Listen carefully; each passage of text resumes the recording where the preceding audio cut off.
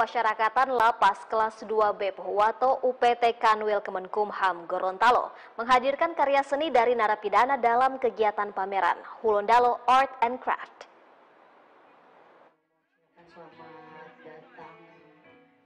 Kepala Subseksi Kegiatan Kerja Kanwil Kemenkumham Gorontalo Ferry Utia Rahman mengatakan, karya seni yang dihasilkan oleh narapidana Lapas Pohuwato adalah contoh nyata dari bakat dan potensi kreatif yang muncul di balik tembok penjara. Para narapidana ini dengan gigi mengembangkan keahlian mereka dalam bidang seni, menghasilkan berbagai jenis karya yang memukau. Pameran Hulondalo Art and Craft ini bertujuan untuk memberikan wadah bagi narapidana lapas Pohuwato untuk mengekspresikan diri mereka melalui seni, sekaligus mempromosikan rehabilitasi dan reintegrasi mereka ke dalam masyarakat.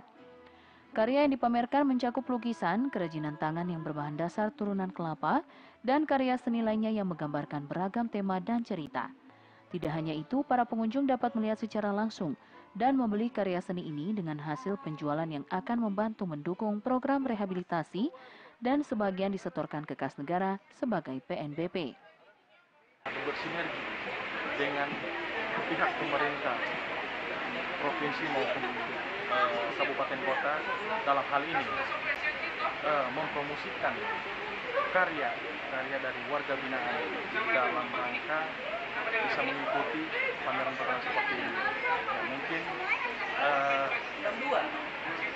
khusus untuk meningkatkan kualitas narapidana juga sehingga mereka tidak mengulangi perbuatan hukum dan mendidik mereka agar memiliki keterampilan sosial dan berwirausaha ketika mereka bebas atau sudah berada di luar dan akan kembali ke masyarakat lain.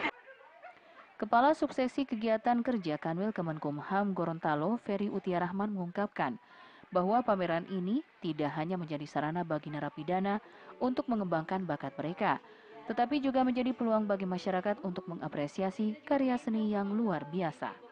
Ipong Steve, TVRI Gorontalo.